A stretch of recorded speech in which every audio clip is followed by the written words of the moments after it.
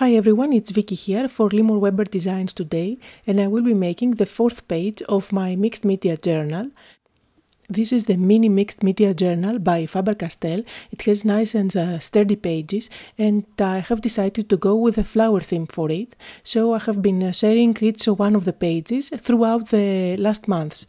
And today I am going to start on a new page. So to start I am going to use some uh, gel medium all over the page and I'm going to stick uh, on top one uh, piece of uh, tissue paper.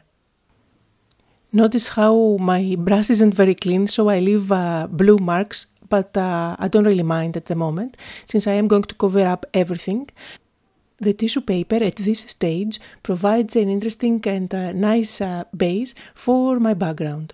I am using my scissors to cut out all the excess and I am doing that after the gel medium was dry. And now it is time to apply some gesso. This is gesso by Faber-Castell. It is nice and liquid and uh, I like to do gesso washes with uh, this product. And uh, I'm not going to cover up uh, the background since uh, you can still see the text at the back. But at the same time I want to have a nice and gessoed uh, surface because I will be using inks today. Now I am going to work with this uh, beautiful stamp. This is a stamp by Penny Black and it is called Softly. I am going to stamp it with archival ink. This is an ink that it is not, uh, it is permanent and it is not going to react with any of the mediums that I'm going to put on top. I am stamping the flowers upside down as if they are coming from the top. I know which is uh, the top and the bottom because I can still see where the holes of uh, this page are. This is a liquid mask, it is called Miskit and I am going to use this product to cover up all the flowers and the leaves. I am going to apply the product with my brush and I am making sure that I am doing a, a neat job since I want to work on the background and I want to keep the flowers and the leaves nice and white so I can color them at the end. Now this product uh, is actually like rubber, so once it dries it uh, remains a little bit sticky, but you can uh, then rub it off with your fingers and uh, it's uh, very easy to remove.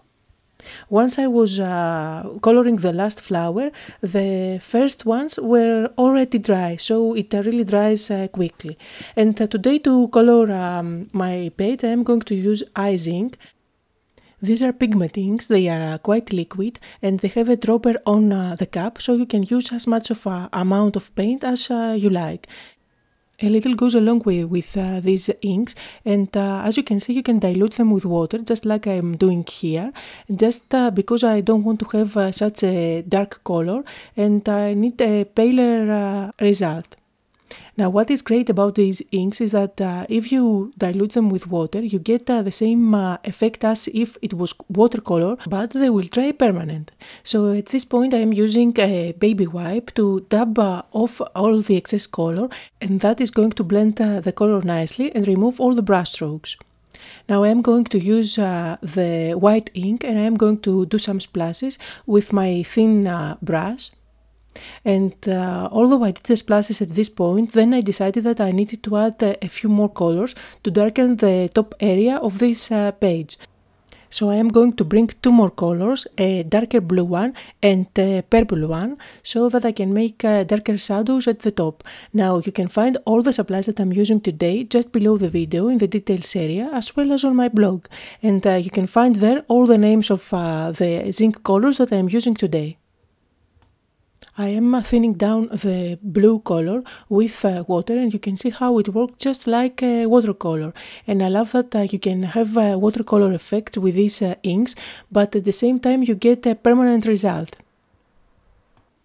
And again, just I did uh, at the beginning, I am going to dab off all the excess just because I don't want to have uh, too much of a darker color there.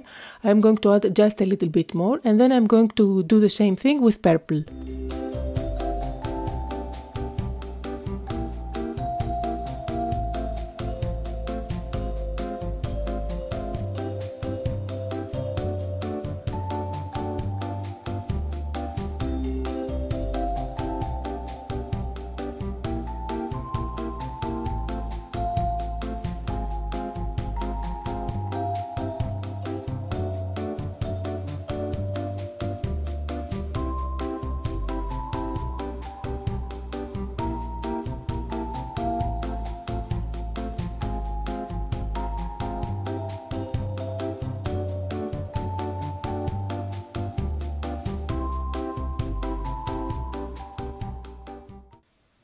Now I'm happy with the background, so I am going to add those white splashes again since I've lost them while I was adding uh, more blue on top. And now I'm going to rub off this uh, mask, the liquid mask that I was uh, using at the beginning. So you can see how easy it is to peel off. And I am going to do that on every leaf and flower. And you can see how nicely it uh, kept all those images uh, clean from all the ink that I have added and the, the water that I have added on top. So now they are nice and uh, ready to get uh, colored.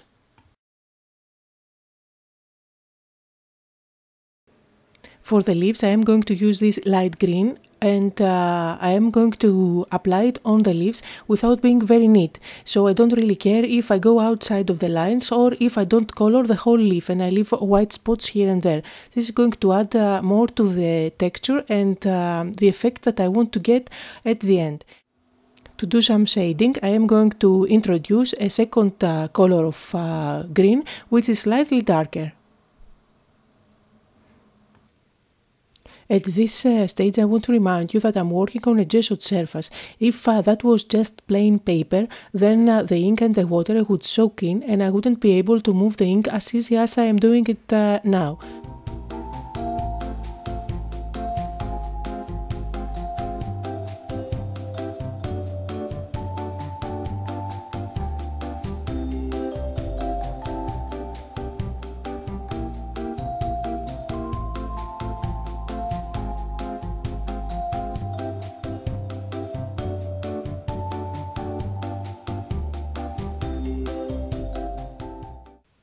And before I go ahead and color the flowers, I'm going to use these pastel pencils. These are by Faber-Castell and uh, you can see how easy I can create shadows. I just uh, draw the line there and blend it with my finger. I am going over the stems and I am going to add some shadows around, around some of the leaves and the flowers.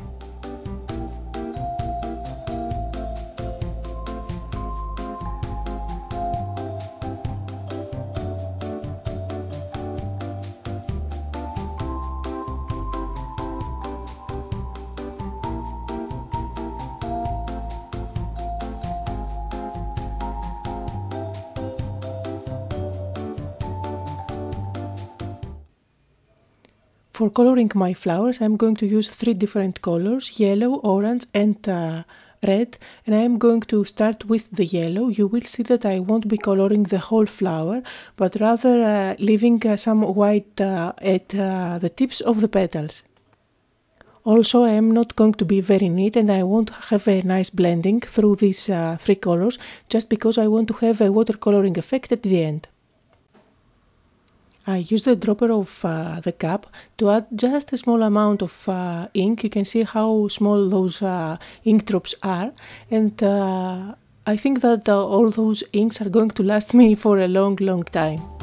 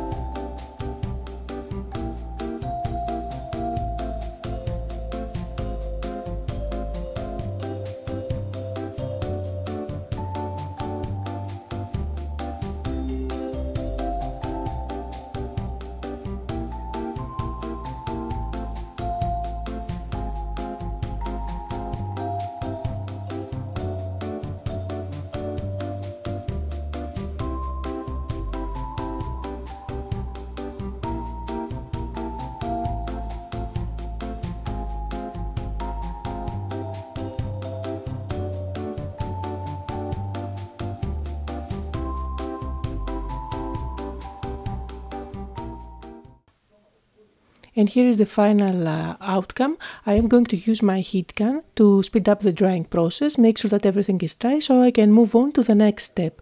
Now if you have been watching my videos for quite some time, you know that I love my white uh, gel pen. So this is what uh, is my next uh, step. I am going to bring in my Signo white gel pen and I am going to add some highlights on the leaves as well as on the flowers.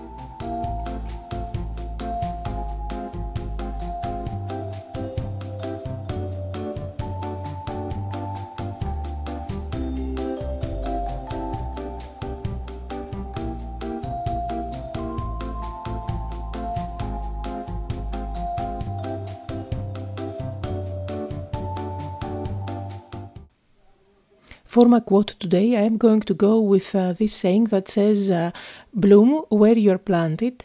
So I am going to stamp it with Versamark ink. This is just a watermark ink. It's totally transparent and uh, I can apply some embossing paste on top which is going to stick only where I have stamped. Now I am going to use my, use my heat gun and I am going to melt down this uh, embossing powder and this is going to give me a nice and embossed effect. The embossing powder that I am using has a nice and vanilla color and you can find a link to this embossing powder just below in the details area. So now that I have my quote there, I am going to add some uh, details on the edges which are going to frame my layout nicely. So I am using one of those uh, long uh, stamps by Limor Weber and you can find the link just below. And I am going to apply some uh, embossing powder. It's the same color as the one that I've used for the quote. So I'm using my heat gun to melt down the embossing powder. And uh, here is the final look of today's page. And now I am going to bring in my Crop-A-Dile and I'm going to do the holes again so that I can assemble my mixed media flower journal. So now I have the holes there and I'm going to use the rings to assemble it uh, back again as uh, it should be. I still have a couple of pages to finish off this uh, flower journal which of course I am going to share them with you once I work on them. Now, I get a lot of questions about what I am going to do on the back of those pages. One of the idea that I have is uh, that I might gesso them and have them nice and white, or I might uh, stick uh, a pattern paper or uh, a tissue paper that is uh, neutral or I can even use them and create another page with flowers at uh, the back. So this is going to double up the projects in this uh, book. I haven't decided yet, but I will let you know what I'm going to do with them. So that was the project for today. I hope you had fun and got inspired. And if you did, don't forget to leave me a comment as well as give me thumbs up on my YouTube channel. And if you haven't subscribed to my videos already, make sure to do so, so you won't lose another video. For more inspiration, here are a couple of videos from the same mixed media journal. You can click uh, on uh, any of the videos on screen or if you are watching from a mobile device, then you can find the links to these videos just below in the details area. Thank you all for watching.